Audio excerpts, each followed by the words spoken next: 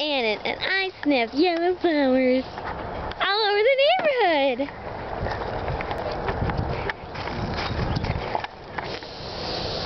It smells good.